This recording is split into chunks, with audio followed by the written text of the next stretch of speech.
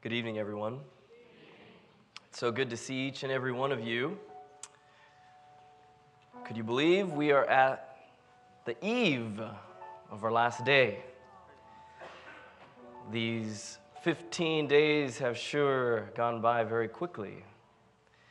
I want to encourage you all that before we end these meetings that you will make a commitment that your study of the Bible will not end just because these meetings end.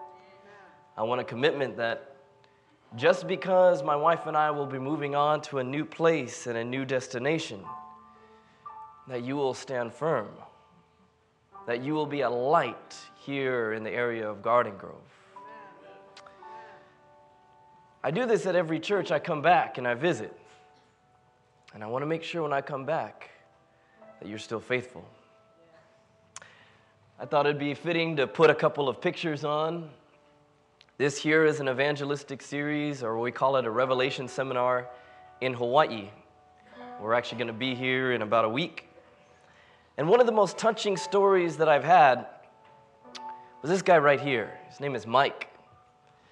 Mike worked for the Hawaii Waste Control in charge of all of the trash cans. He does the logistics.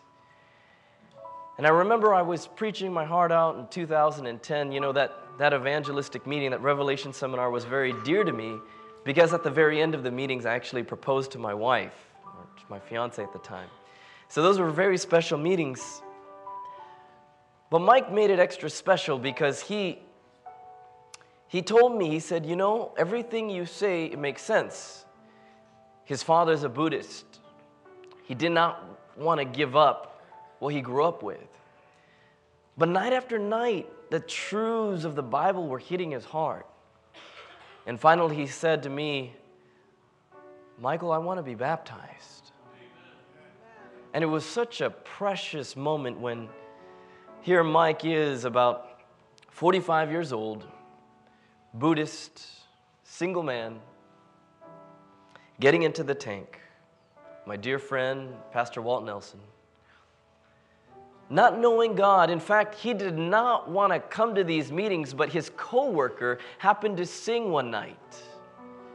And his coworker said, "Mike, can you come to these meetings and and can you can you support me? I'm going to sing." And Mike said, "Okay, I'll come to listen to you, but after that, I'm leaving." So he came and he listened to his friend Daisy give a beautiful rendition of a song right when he was about to slip out, I got up to speak. And as I spoke, and my, my then girlfriend was playing the piano, something arrested his attention, and he stayed. He ended up coming every night after he heard that one. He, he just was addicted. Night after night, he ended up coming. And at the very end, I was able to witness the first person in my life who had grown up to be Buddhist give his heart to Jesus. To this day, I'm close friends with Mike. He's a pretty wealthy man. And the next year, I preached meetings in Hawaii, and I preached in the country area of Hawaii, and, and they don't want you to wear suits there. You need to wear the local aloha clothes. And I told the locals, I said, You guys have any extra aloha shirts? I'm not about to buy 10 or 12 aloha shirts. And here comes Mike. Hey, Michael, I heard you're in the area. I want to do something for you. He comes to me with this bag of Tommy Bahama aloha shirts. Now, for those of you who don't know how much Tommy Bahama aloha shirts, I didn't really know. Had to Google it. $120 a shirt. He said, I just want to do something special for you. I was just there in January. I was able to see him. And he said, Michael, pray for me. I'm about to get married. So it's amazing to see how God works. And beloved, I'm so privileged to see what God is doing night after night, meeting after meeting. Let's go ahead and bow our heads for a word of prayer. And so, Vino, if I can have some people take off these, take down these mics for me, thank you. Let's go ahead and have a word of prayer as we begin. Father in heaven, I come before you thanking you for the opportunity to open your word. Father, I thank you so much for bringing each one of us here night after night. I thank you so much that you are using the Bible to change our lives. Oh Lord, I pray that we are faithful to you. I pray that we stop holding on to the things of this world and that we will make a decision for you. I pray this in Jesus' name. Amen. Let's go in our Bibles to Luke chapter 16, verse 10.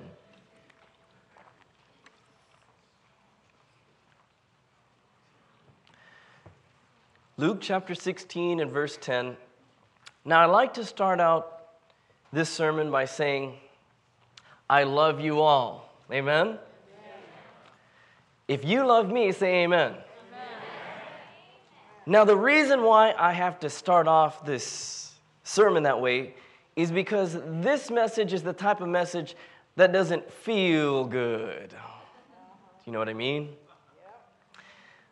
Sometimes we need to hear things that are good for our character. Sometimes we need to hear things that's good for our growth. But at the same time, when we hear those things, they're not the fluffy, good things that we usually hear. Now, beloved, I want to make sure you understand that I believe in the gospel. I mean, want to make sure you understand that I believe that you are saved by grace and grace alone. When I was in Hollywood and someone was doing Bible studies with me, I remember I would consistently go to John 3:16. Do you know what John 3:16 says? For God so loved the world, he gave his only begotten son that whosoever believes in him, he shall have everlasting life, right? Now, I would quote this all the time and my friend would bring me to other places of the Bible. And I would consistently go to John 3:16. And after a while my friend said something to me. He said, "Michael, do you know any other verses than John 3:16?"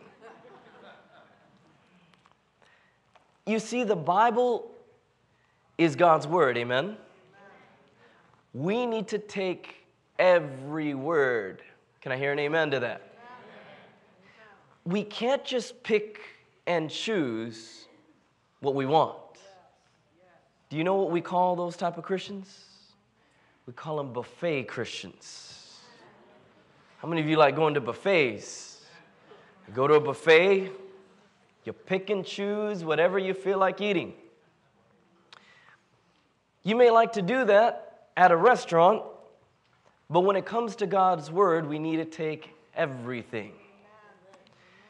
In Luke 16, verse 10, the Bible says, He that is faithful in that which is what? Least, Least is also faithful in what? Much. Much. I want you to keep this in mind. This evening's message is entitled Vanity Affair. Vanity what? Vanity Affair. Now, many of you have heard of Vanity Fair magazine. We're going to be looking at Vanity Affair. Now, vanity is going to be an acronym tonight. So, V stands for something, A stands for something, N stands for something, T stands for something, and Y stands for something. I like to show this scripture. Notice what it says. Do you not know that your body is what? The temple of the Holy Spirit who is in you, whom you have received from God, you are not your what? Your own. Another verse in 1 Corinthians 3:16 says, "Do you not know that you are God's temple and that God's spirit dwells in you? If anyone destroys God's temple, God will do what?" That's some pretty sobering words, right? Now, don't get mad at me. I'm not telling you these things. I'm simply reading what the Bible says. It says, For God's temple is holy, and you are not, and you are that temple. How many of you ever leased a car before? Anyone ever leased a car before? All right.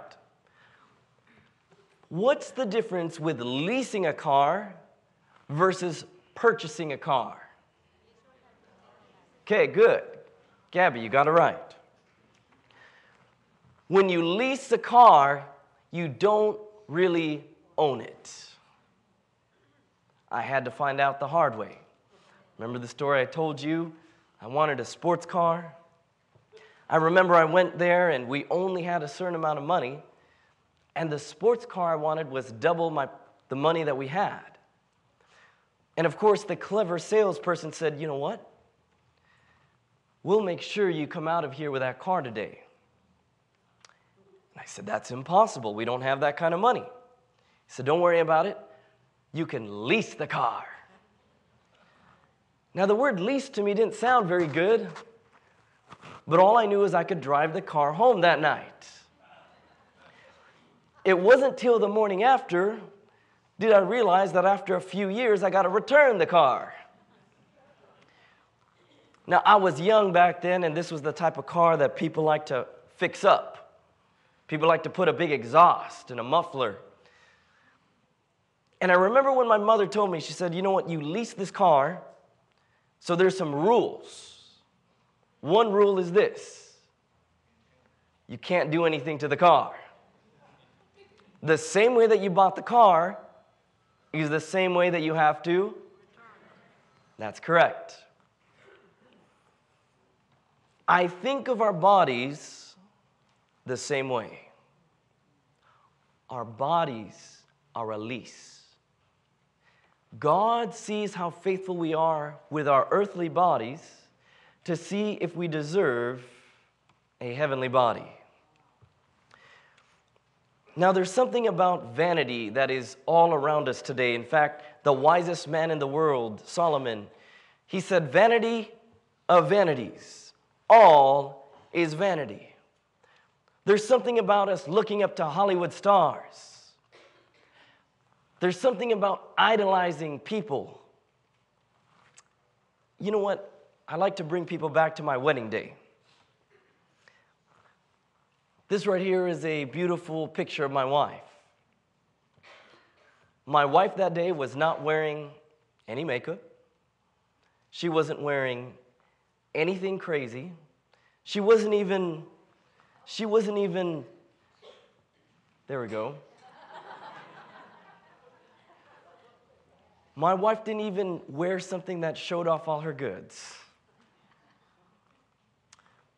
my wife wanted to not only honor me, she wanted to honor God. By the way, when my wife and I got married, our first kiss was also at the altar. In everything that we did, we wanted to honor God. We didn't want to mess around. We said if we put God first in our relationship, He will bless us. Now, I want to make sure you know that God loves beautiful things. But I think sometimes because we live in a vain world, we want to put all those beautiful things on us. Now, God loves gold. The streets in heaven are going to be made of gold. He's going to put a crown of gold on your brow. But nowadays, the world gives us a picture that we should have all sorts of gold all over us. Now, I want to give us a principle. There's nothing inherently wrong with gold, with jewelry, with precious stones. But I want you to see this verse. Go in your Bibles to 1 Peter 3 and verse 3. 1 Peter 3 and verse 3. When you're there, I want you to say amen.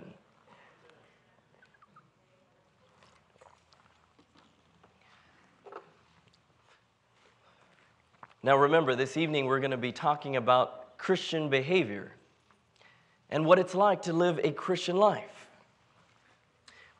The Bible says in 1 Peter 3, verse 3, are we all there? It says, Do not let your adorning be external. The braiding of hair, by the way, that's not braiding hair. That simply means what, what they did back then is they would put gold in elaborate hairstyles and put on of gold jewelry or the clothing you wear. Now, again, what you do is between you and God. Amen? At the same time, the principle is don't let the things you wear outshine who you are on the inside. And you see, beloved, instead of us having just a little bit of jewelry or gold, nowadays people are going a little extreme with things. They start to have crazy piercings. I don't know if you noticed, but people are actually having these claws attached to them. It's getting even crazier with piercings all over them. This one is just absolutely atrocious. I don't know how this guy can eat. And of course, the last picture right here, I mean, I don't even know what you want to call this guy. It's gotten to the point that's so bad that Time Magazine did a special, and they said that split tongues are now becoming the new thing in body art. But you see, beloved, it's between you and God what you want to do. It's between you and God in regards to the things you wear and the things you put on. But the principle is this when people look at you, are they focused on your character or they focused on the things you're wearing? And I want us to really think about those things because the God that we serve is a God who looks at our inward beauty. All right, A stands for appetite. We're going to talk a little bit about this appetite. Now, one thing about the Seventh day Adventist Church is that we are the longest living people in the world.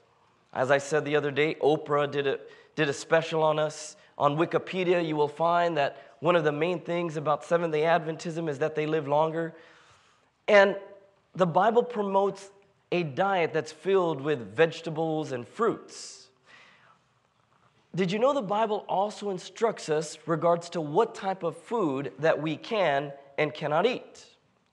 Did you know that God instructed Noah to bring both clean and unclean animals into the ark? Genesis chapter 7 verse 1 and 2. Then the Lord said to Noah, Come into the ark, you and all your household, because I have seen that you are righteous before me in this generation. You shall take with you seven each of every what, everyone? Clean animal, a male and a female, to each animals that are unclean, a male and his female. We're now going to find out what does it mean by a clean and a unclean animal. Here's an interesting little fact. It was only after the flood that God gave human beings permission to eat meat. Now, if you want a complete list of things we're supposed to eat and things we're not supposed to eat, you can go to Deuteronomy 14.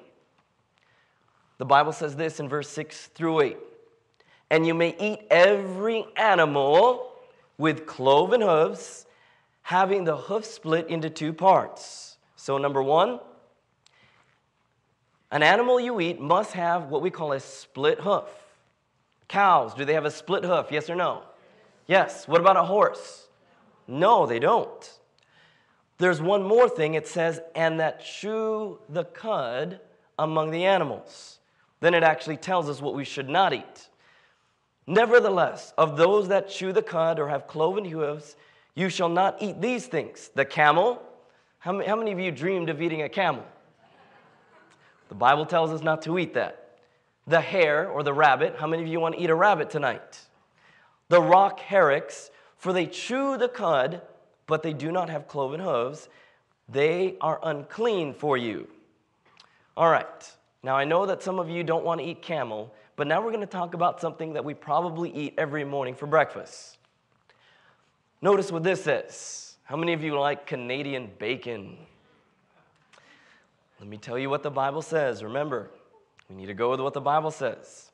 Also, the swine is unclean for you because it has cloven hooves, yet it does not chew the cud. Do you know what the pig eat? Does anyone know what they eat? Garbage. They eat anything. You shall not eat their flesh or touch their dead carcass. How many of you want to eat Mr. Oink Oink? I don't know about you, but he doesn't look very appetizing. Now, for those of you who maybe need more scientific proof, don't worry, I brought that for you tonight. Did you know that a majority of pigs, they have tapeworms and other bacteria inside? And this right here is a graph of what happens when you eat pigs. These tapeworms go into your system, and unfortunately, some people end up eating bacon or end up eating pork. And here we have a woman who she, she thought she had a tumor, but in reality, what happened was a tapeworm was eating her brain. Now, I actually have a little bit of a clip. If you can, if you don't mind playing that in the back, it will talk about really how unclean these things are. The most common cause of adult onset epilepsy in the world is called neurocysticercosis, which literally means pork tapeworms curled up inside our brain. A review last year out of the Mayo Clinic describes the problem. Cysticerci, meaning the pork tapeworm larvae, uh, create cavities in the human brain and other body tissue where their tiny bodies grow It looks like that, everyone. into tapeworms two to seven meters in length and can live up to 25 years in the human body. Stop right there. Seven meters means uh, They have these tapeworms that can actually live many years inside of the human brain. And, it, and a lot of people don't understand why they feel sick or why they're losing weight. Did you know that back in the 1800s, that some people would lose weight by eating tapeworms? They would put tapeworms in their system, and that's how people would lose weight. Little did they know that the tapeworms were eating other things like their organs. Now, of course, to, uh, to just solve the problem, all we have to do is avoid it. Now, sometimes we think God is a mean God for not letting us eat bacon. Now, beloved, you can eat Canadian, you can eat turkey bacon, you can eat vegetarian bacon, but God doesn't want bad things to happen to you. Now, how many of you like seafood? If you like seafood, God also tells us what we can and cannot eat regarding the sea. Deuteronomy 14, verse 9, it says, These you may eat of all that you are in the water, you may eat all that have fins and scales. What are the two things, everyone? All right, so let's go through something. Salmon, can you eat that? Fins and scales. What about yellowtail? Fins and scales, that's right. What about catfish? Why not? Because it's disgusting. No, it's also because that's also because catfish don't have scales. That's correct. Now, the Bible also says this. Continues on in 14, verse 10 Whatsoever does not have fins and scales, you shall not eat. It is unclean. And unfortunately, that also means lobster, shrimp. It means a bunch of uh, clams, mussels. In fact, Prevention Magazine says shellfish are dirty and dangerous. Now, for those of you who like to eat chicken, those of you who like to eat meat, those of you us who like to eat steak, whatever it is, that is all clean things to eat. However, there's one thing the Bible says. It says, if we are to eat these things, you shall not eat of the fat and of the blood. Does anyone know why? Okay? Guess where all of the bacteria is, all of the disease? It's in the blood and in the fat. So God is saying, I don't want you to get sick. I love you too much, so simply take out the fat and simply take out the blood. All right, let's go ahead and go over N, narcotics. This one is a big one. Did you know that every cigarette you smoke takes 14.5 minutes off your life? Did you know tobacco smoke contains 70 different cancer causing substances? Now, I was in a fraternity, so I, I feel I have liberty to speak about this. It seems like it always starts out with something. It starts out with beer. Then we want to try the hard stuff. Does the Bible talk about alcohol? You better believe it does. Notice what it says in Proverbs 20, verse 1. It says, Wine is a mocker, strong drink is a brawler, and whoever is led astray is not wise. Proverbs 23, verse 31 says, Do not gaze at wine when it is red, when it sparkles in the cup, when it goes down smoothly. In the end, it bites like a what? A snake, and it poisons like a viper. Your eyes will see strange sights, and your mind imagine confusing things.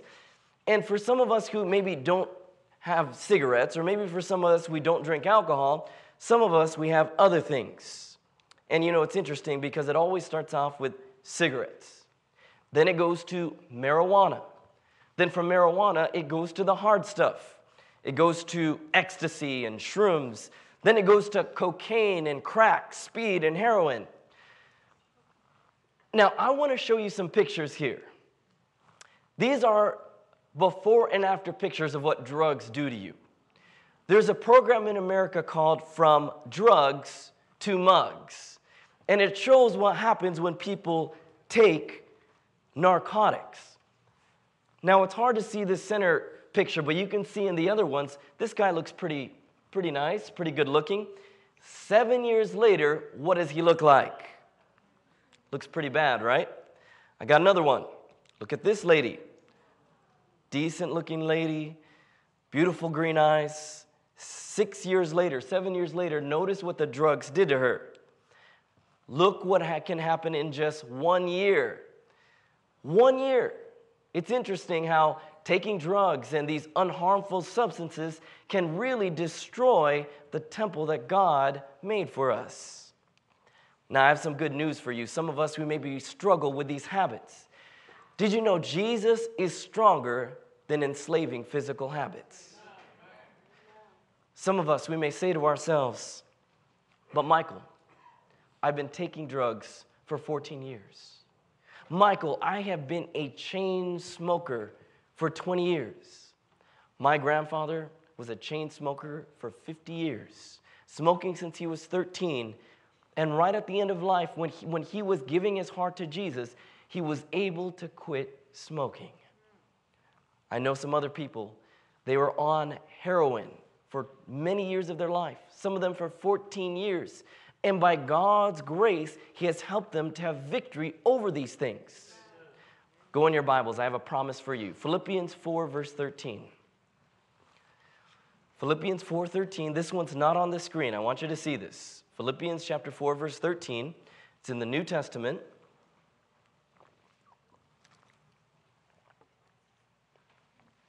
Philippians 4:13. Are you all there? All right, notice this. Philippians chapter 4 verse 13. I want to make sure you see this. For you, those of you taking notes, underline it, highlight it. It's one of those 911 verses that you can always go to. Philippians 4:13. When you're all there, if you can say amen. The Bible says this I can do a few things through Christ. What does the Bible say? I can do all things, even give up the most enslaving cigarette habit. I can do all things, even giving up marijuana, even giving up my alcoholic problem. The Bible says, I can do all things. Why or how? Who gives you the strength, everyone? It's Christ that gives you that strength. Let me tell you how the Bible works. When God gives you a command, He gives you the power to do it. Did you catch that? When God tells you to do something, He also gives you the power. God never tells you something that you cannot do. I love how God is stronger than any habit on earth. All right, now we're going to go through idols. I. Now, young people, this one is for you. Now, of course, we all have idols, but specifically, specifically as young people, we struggle with certain things. How many of you know what this is? What is that, young people? Ooh, they all know it. It's Twilight, right? What's Twilight about? Vampires. That's right. Now, do you think if Jesus was here on this earth, that Jesus would somehow be handing out vampire books to everyone? Do you think that he would sit down, the, the little children who, who sit on his lap, and do you think Jesus would say, You know, I have a story to tell you about Twilight, Charmed? Do you think that's how Jesus works? No. The Bible says in Philippians 4, verse 8, whatsoever things are pure, whatsoever things are lovely, if there be any virtue in these things, think of these things. Now, beloved, I really don't think God wants us to be watching things or to be reading things that is so against his character. Come on now, sucking blood out of people? Beloved, God was the one who gave blood for people, not suck blood out of them. I just want to make sure we're clear on this because if we are to be Christians, if we're going to take on the name Christian, that means we should act like Christians. Amen? Whenever I meet atheists or agnostics, one of the common reasons why they don't want to be Christians is because they say there are so many hypocrites in the church. If we are going to be disciples of Jesus, we need to be disciples of Jesus in the privacy of our own home as well. How many of you know who this is right here? Justin Bieber, right? Now, let me explain. There is nothing wrong with liking Justin Bieber. However, it's crazy how we become fanatics not just over Justin Bieber, but whoever that boy band is, or whoever the latest musical star is, or whoever our favorite sports team is, right? It doesn't matter who it is or what it is, if we become fanatics over a specific thing, those things become our idols. I'm going to use myself as an example here since I'm allowed to pick on myself. I am, well, I probably was. Now, I, now Jesus is in my life, but I was the biggest San Francisco 49er fan.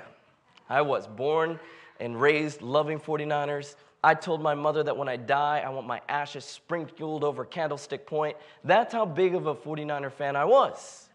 And, you know, I, I, by the way, I'm not one of these bandwagon fans or anything. I liked them through all the hard years, everything. I was that type of fan.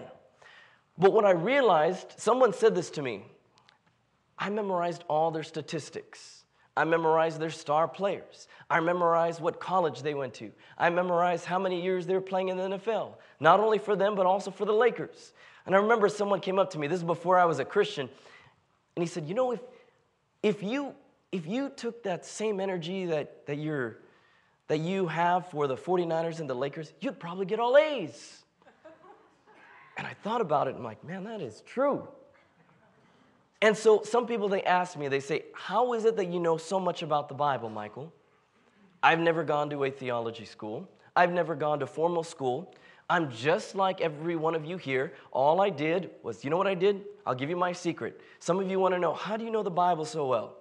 I turned off the television, I stopped watching all of this other stuff, and I started reading this not just reading it, but studying it, highlighting it, looking at things, quizzing myself, going to someone else and, and, and just having Bible drills with them.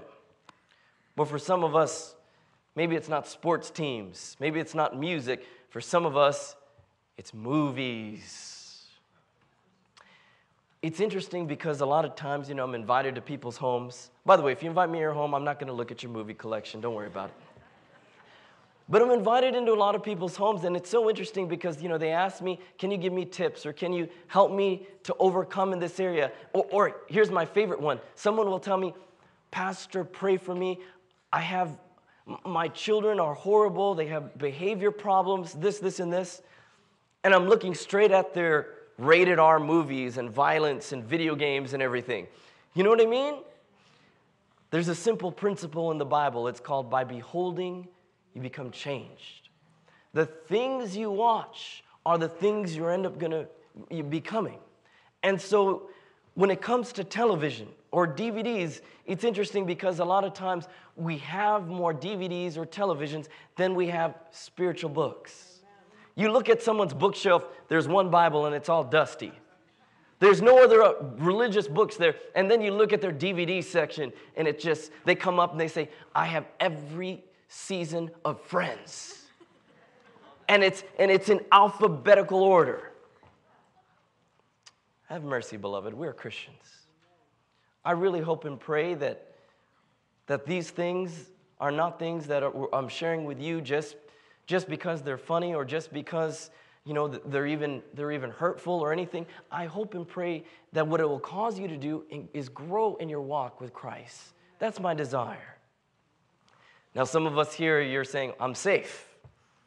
I'm not a sports fan. I don't care about Justin Bieber. I don't read Twilight.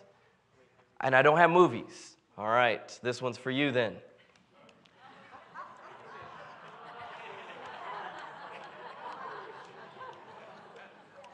How many of you are slaves to the computer then?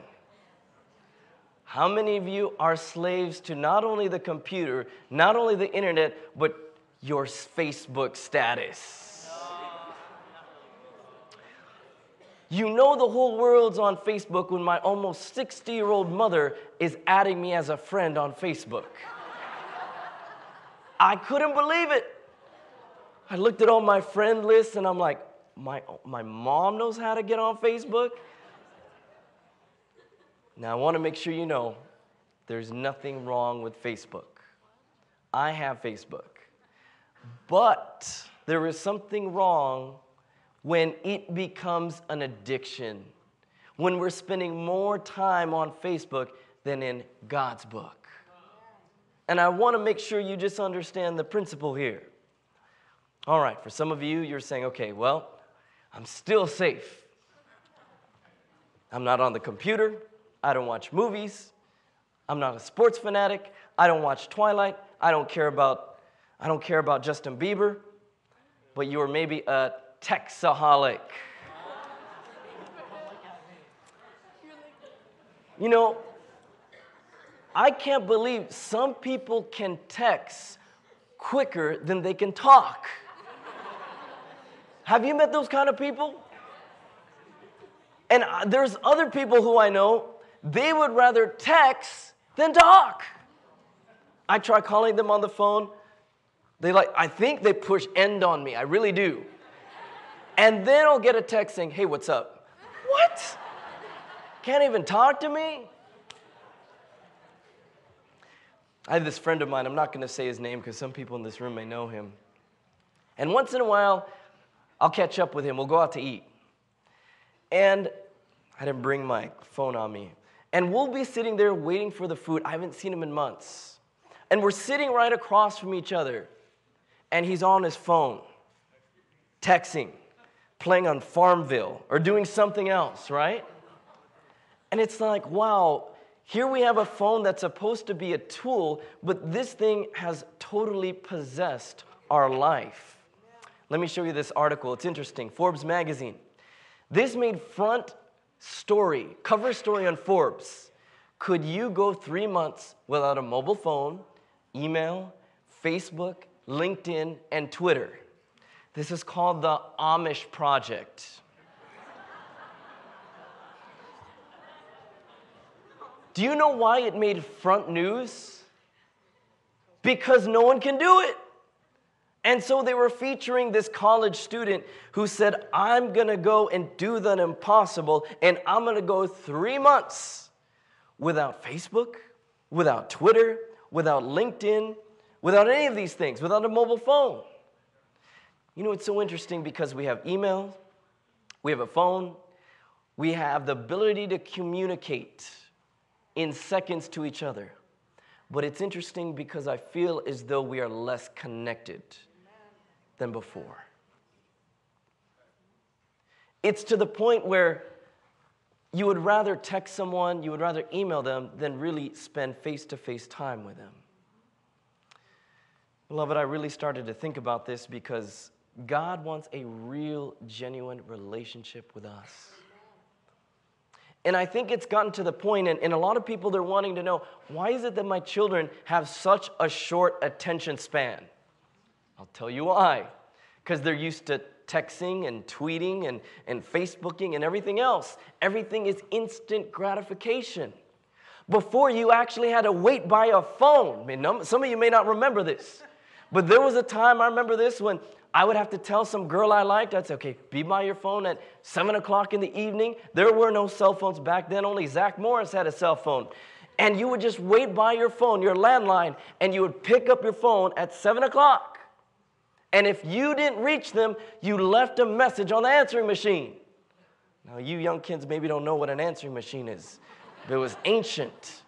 You got home and, and, and it had this red light flashing if someone if someone left messages and you'd push the button and, and you'd have like 10 messages and you'd sit there with a paper and pen writing down the messages and listening to the phone numbers and if they spoke too fast you would you'd do it again modern technology is so interesting i just got my, my new phone and there's this option where i don't even have to listen to voicemails anymore it turns my voicemails into texts it's like wow this is crazy we are living in an age where times are rapidly changing. But, beloved, in spite of all these changes, I hope we never lose focus of what's really important. I hope with all the distractions, Twitter can be a good thing, trust me. Facebook can be a good thing. Email, texting, phones, all of those can be a good thing.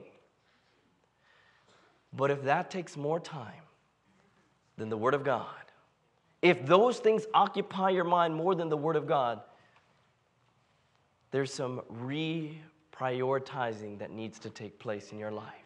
Amen. It's sad in the morning. I find myself sometimes more excited to check if I have any messages, more excited to check my email than read God's Word. Like it's a struggle sometimes. Maybe I'm the only one here. But sometimes I'll be looking and I'm, and I'm like, maybe, maybe someone called me or this happened. And I won't be as excited about reading the Word of God. And tonight's message is really about refocusing our attention on God's Word. Now, how do we do that? This is where we have T trust in God. Go in your Bibles to Proverbs 3, verse 5 and 6. Proverbs chapter 3, verse 5 and 6.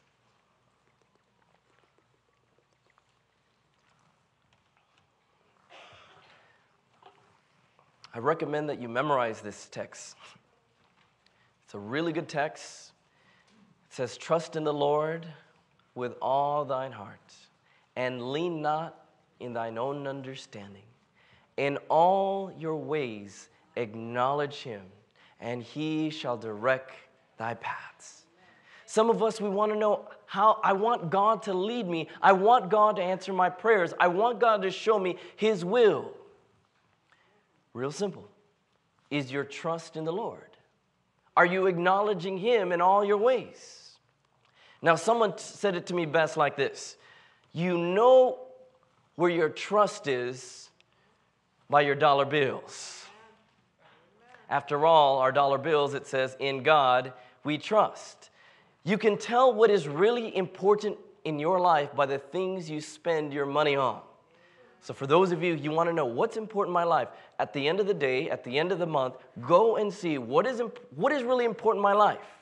For some of us, it will say golf. For other of us, it will say movies, going out to the movies every weekend. For, for maybe some of us, it will say food, right? Going out to different restaurants. For some of us, maybe it'll be traveling. I hope and pray that at the end of the year, and I like this time of the month because this is where we examine all the things we've spent our money on. We can see am I being faithful in my money? Am I being faithful in the resources God has given me? Now, listen to this verse Deuteronomy 8, verse 18. It says, And you shall remember the Lord your God, for it is He who what? He gives you power to get wealth. For those of you who are doctors and nurses, teachers and accountants, and you say to yourself, Well, I worked hard for my money. I went to school and I took a special test. Beloved, God gave you power to get your wealth. Haggai 2, verse 8, it says, The silver is mine and the gold is mine, says the Lord of hosts. Now, in the Bible, I want to introduce you to a topic. It's called tithing. Called what, everyone? Tithing. What it simply means is this out of all the money you make, you're to give one tenth to God. 10%. So if you made $100, how much do you give to God? 10. Real simple. Now, God's the one who gave us the money. God could have easily said, okay, $90 is mine and you can have the $10. But what does God do? He says, just give me 10. Just give me 10. And I find that giving God that 10, it really puts into perspectives where is my heart? And when I find myself, it's so hard to give that 10, oh Lord, bills are so tough this month, it's really easy for me to spend 10% of my income on movies or on food or on something else. But when it comes to God, writing that check to the church or writing it to, to, to ministry, oh, it's so hard for me to do. That means my heart is not in the right place. Notice what the Bible says Genesis 28, verse 22. And of all that you give me, I will surely give a tenth to you. Leviticus 27, verse 30.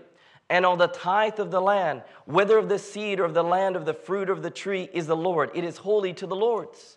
Malachi 3, verse 8, it says, You have robbed me. But you say, And where have I robbed you, Lord? In tithes and offerings. Now, let me make sure this is clear. By the way, one thing I like about the Seventh day Adventist Church, it's not all about money. How many times have we asked for an offering here? How many times have you seen plates going around? Zero, right?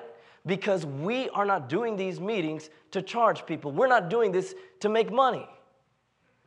We are doing this because we want you to know the principles of the Word of God. And some of the principles means God wants you to give of your money to help support the ministry, but it's also for you. God wants to make sure that you get a blessing by giving to the ministry. The Bible says, You have robbed me in tithes and offerings. Tithes is how much percent, everyone? 10%. Offerings is your free will. You can give whatever you, you choose. I love what it says in verse 10. Bring all the tithes into the storehouse, that there may be food in my house. And try me now in this. If there's one time God is giving you a dare, He says, Test me in this. Give me 10%.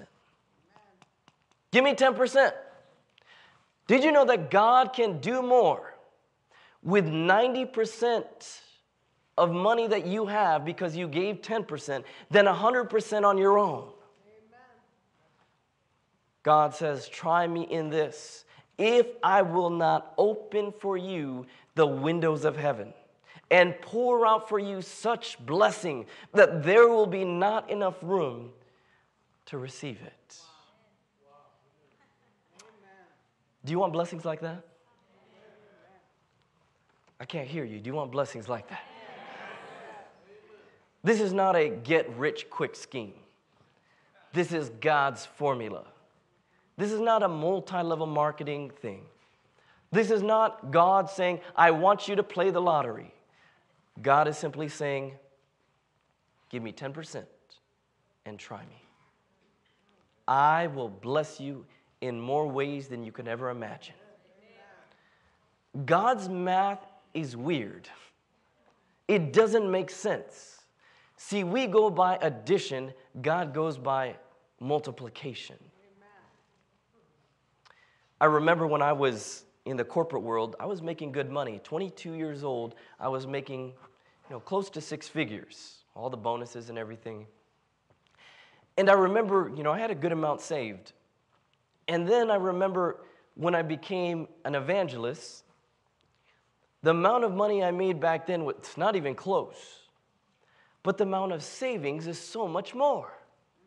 And I look and I say, how does this work?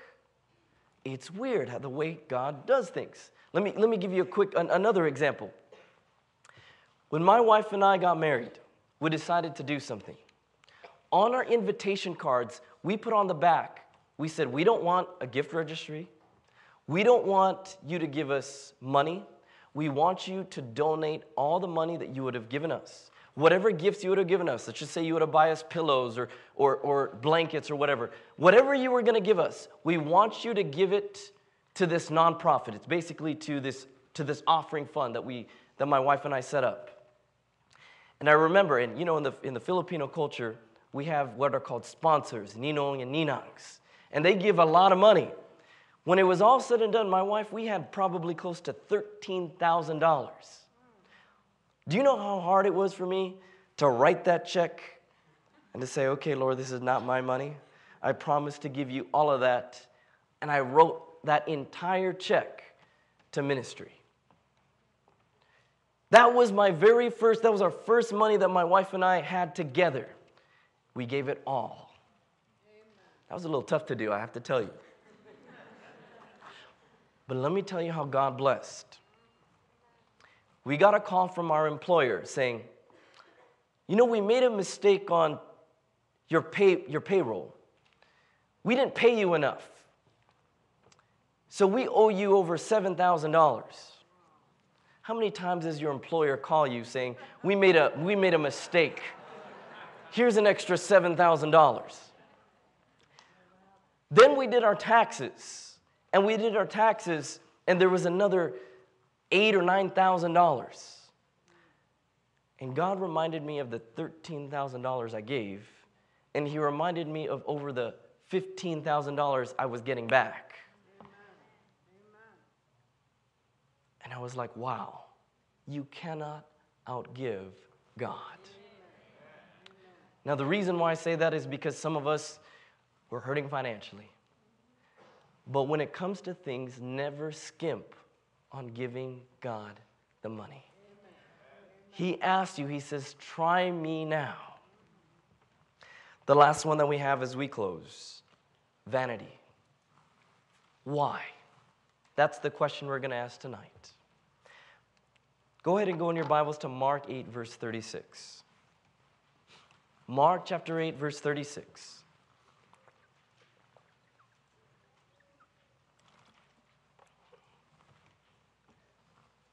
Mark chapter 8, verse 36. Listen to what the Bible says. We're asking this question as we close. The Bible says, Are we all there? Yes. All right, praise God. For what shall it profit a man if he shall, what everyone? Gain the whole world and what? Lose his soul in the process. I think of this story. This is actually me in Africa. I'm touching a hyena here. I, I went there, I preached my heart out in Africa. And the person who I was with, a game warden, he said, You could touch this hyena. It's a friendly one. Did you know that in Africa, they train hyenas to be guard dogs? So imagine if you're a criminal and you break into a home and you don't have a German shepherd waiting for you, you have a hyena waiting for you. Did you know that hyenas have the strongest jaw in the world? They can crush 10,000 pounds per square inch. Now, he's telling me these facts as I'm thinking if I should touch this thing. I went by the hyenas He's telling me it's safe to touch this guy.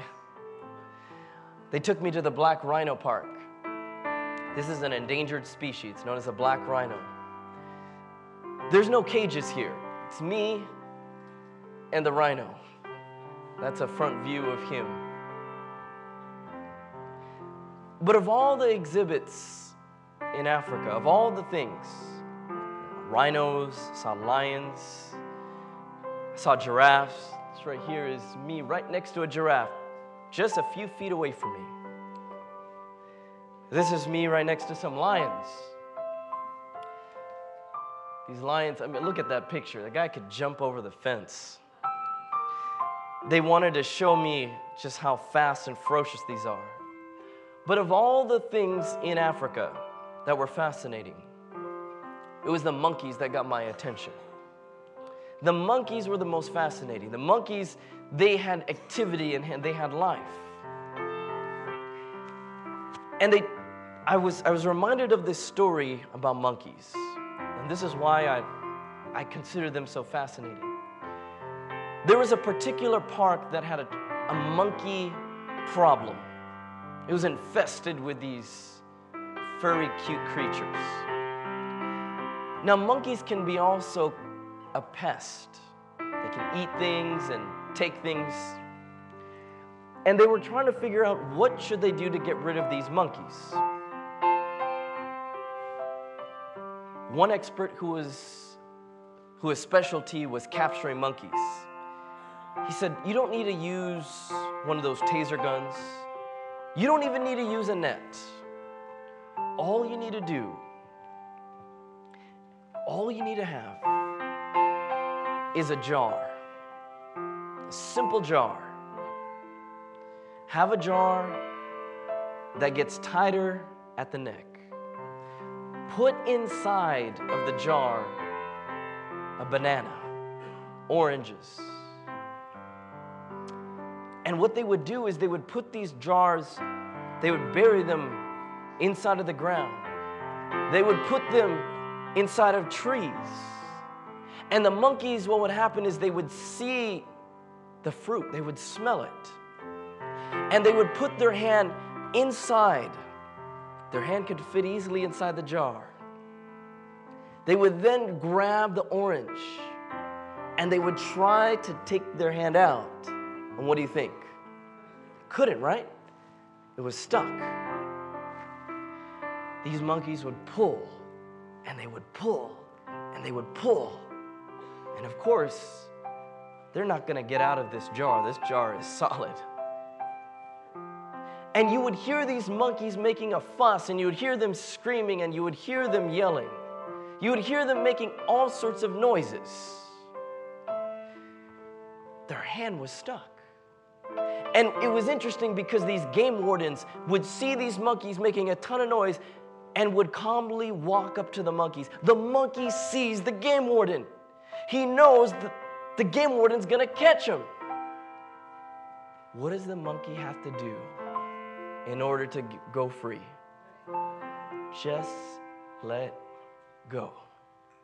But as the game warden's getting closer and closer to the monkey, the monkey would not let go even if it meant being caught.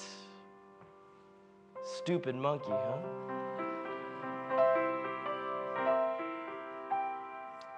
Do you know where I'm going with this? The devil has put traps in our way.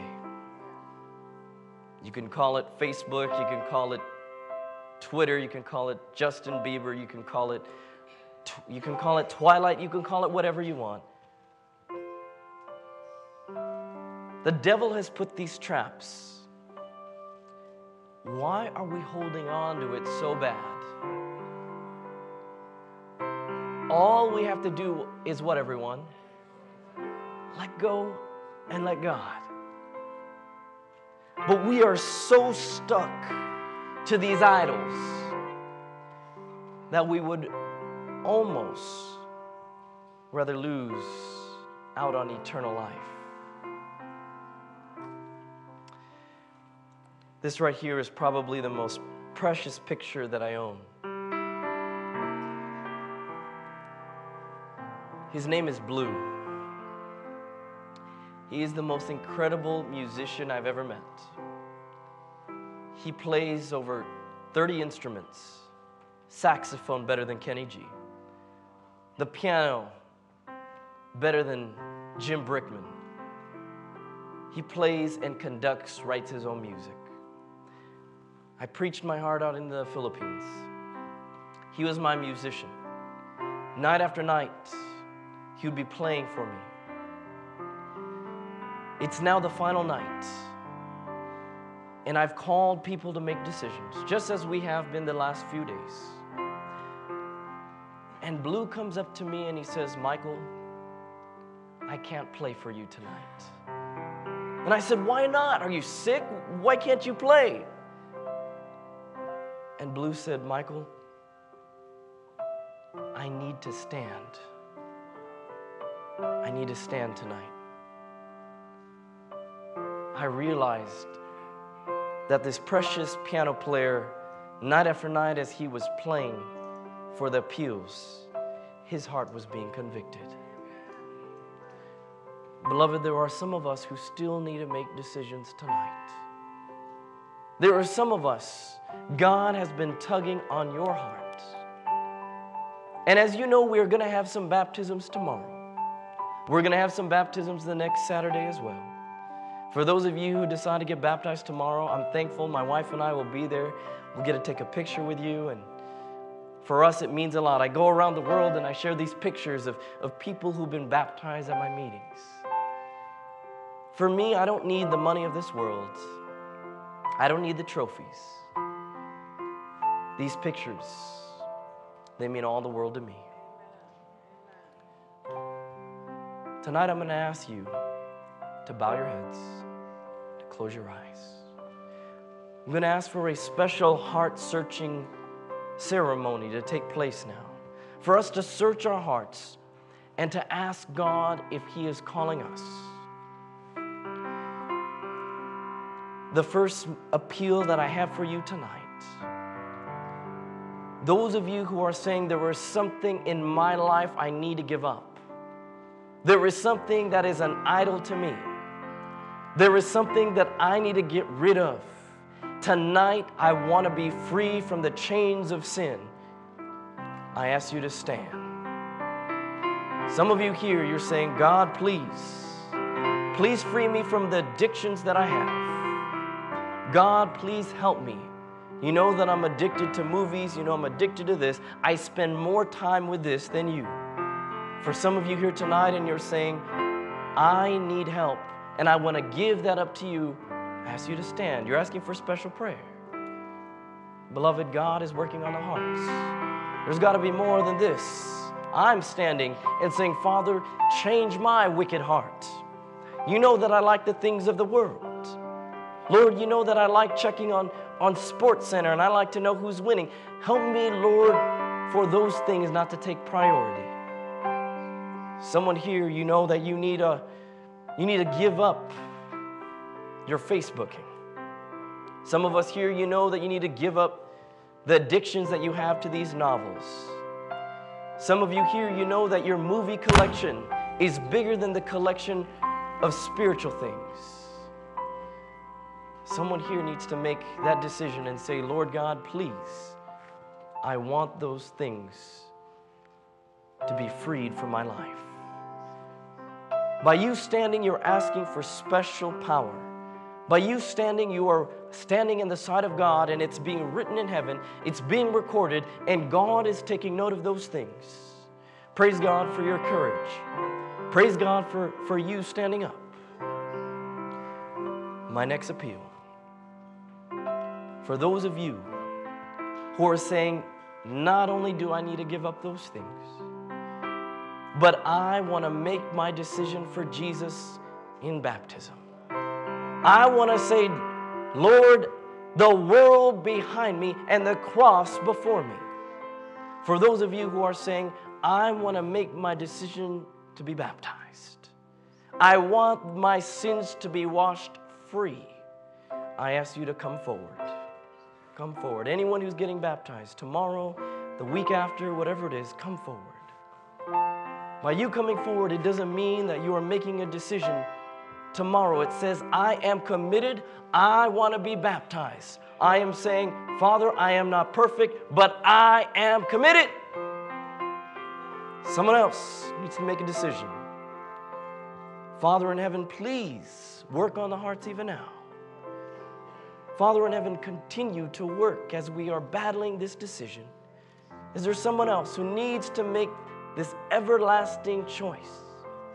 You know, today we were able to see a marriage. It was a beautiful ceremony. But marriage is for a lifetime, baptism is for eternity. Someone else who needs to make a decision for baptism. You are just saying, I want to I want to get studies. I want to get closer to Christ. Doesn't mean you're going to get baptized tomorrow, but you are saying, right now, I am making the decision. I promise you it's the best decision you'll ever make. Anyone else wants to make decision for rebaptism? Some of you, you've been baptized once, but you want to be rebaptized. Beloved, it is the best decision. Trust me on this. Trust what the scriptures say. You are saying, I want to be free from the things I've done. I want to go before God publicly and declare that I am His. Anyone else wants to make this the decision publicly for Jesus? Anyone else wants to come forward? Praise God for all the souls that we see here right now. Praise God for all the 25 decisions. Anyone else? I won't hold this much longer. God is working. Someone else wants to make a decision. You're saying, Lord, please. You know that I need to give my heart 100% for you. Praise God. Someone else made a decision. Anyone else? wants to make a decision, praise God. The Spirit of God is working. Beloved, again, this is the best decision you'll ever make. No regrets on this decision. It's risk free. This is the moment where Jesus comes into your heart. This is the moment where you declare before heaven and earth, I am done with this world. Praise God for all these souls up here. Anyone else wants to make a decision for Jesus? Wants to make this public commitment?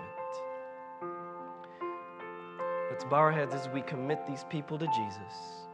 And if anyone else during this prayer, if you feel like God is tugging on your heartstrings, please come forward. Father in heaven, we come before you thanking you so much for the free gift of salvation. Father in heaven, we thank you so much that you give us this opportunity to be freed from the chains of sin. And Lord, I thank you for those who are standing, those who are publicly saying, There is something in my life that I must be freed from. And Father, I want to thank you for these brave souls who are willing to stand and come forward. Jesus, you didn't feel like walking those two and a half miles to Calvary, but you did because you love us. You saw us. You saw me. You saw each and every one of us here, and you were willing to pay the price Father, these people who are standing today, who are saying, I am done with this world. Publicly, I'm declaring that I am a child of God. Father, I pray that you keep them in your hallowed care. I pray again, Father, for your Holy Spirit to work in the hearts. That if there's someone here who needs to make a decision, that they will come even now. Please, Father, Help us to stop playing around with you. Many of us are dating you, we're in and out of a relationship. I pray that we'll be married to you, committed entirely. Thank you, Father.